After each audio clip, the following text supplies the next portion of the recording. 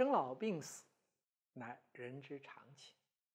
再辉煌的人生，都有谢幕的时候。人进入老年之后，必然要离开舞台的中央，从掌握权力到失去权力。那么，如何优雅的跨入老年的门槛，安稳幸福的度过人生的最后阶段？莎士比亚在他的悲剧中为我们从反面提供了教训，如《李尔王》中的李尔轻率的相信，用华丽的言辞表达的情感。莎士比亚另一部悲剧《雅典的泰门》中，贵族泰门一贯乐善好施，慷慨无比。有钱的时候，他的府邸宾客如云，众人争相逢迎；但他因为过于好客和慷慨而破产。向朋友求援，遭到了拒绝。早前的溜须拍马之徒也一个个离他而去。泰门看透了世道人心，成为厌世者，诅咒黄金和人类，最后在荒野中孤独的死去。泰门的悲剧在于他喜欢听阿谀奉承，是他的慷慨超出了限度。李尔和泰门，一个贵为国王。一个富甲一方，都因为昏聩和欲望失去了理智和判断，在人生暮年陷入了巨大的灾难当中。而传奇剧《暴风雨》则从正面给我们描绘了人生的华丽谢幕。《暴风雨》中的普罗斯比罗就如同一位导演，其中的故事仿佛是他一手策划的。演员在舞台上如何表演，从哪里登场，从哪里退场，全在他的掌握之中。其中的人物的命运也全在他的操控之下。从这个意义上说，他扮演的是上帝的角色，法力无边。但普罗斯比罗通过魔法获得绝对权力，却谨慎地行使这种权力，最终甚至放弃了魔法。这就是所谓的舍弃。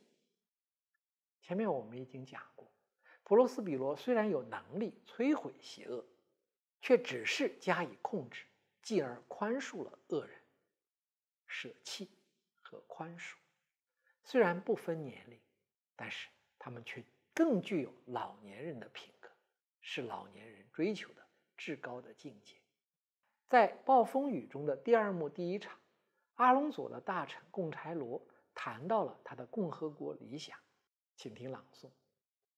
在这共和国中，我要实行一切与众不同的设施，我要禁止一切的贸易，没有地方官的设立，没有文学，富有、贫穷和雇佣都要废止，契约、承袭、疆界、区域、耕种、葡萄园都没有，金属、谷物、酒、油都没有用处。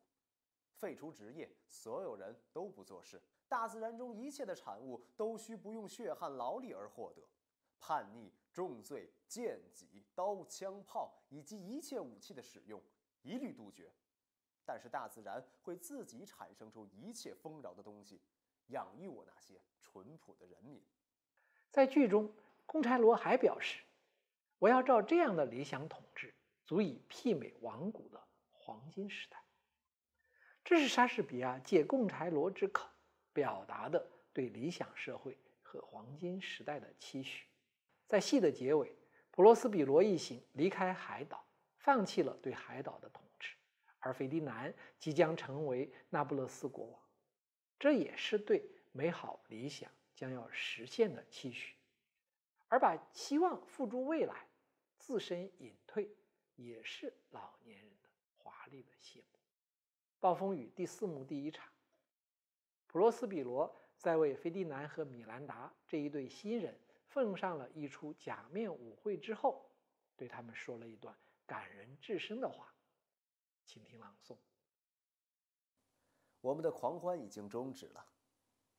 我们的这一些演员们，我曾经告诉过你，原是一群精灵，他们都已化成淡烟而消散了。